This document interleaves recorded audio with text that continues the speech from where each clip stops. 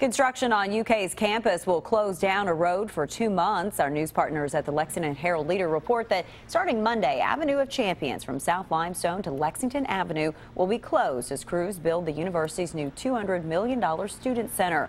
One lane of the road has been closed as construction continues across the street on new residence halls opening this fall. The new student center is scheduled to open in January of 2018.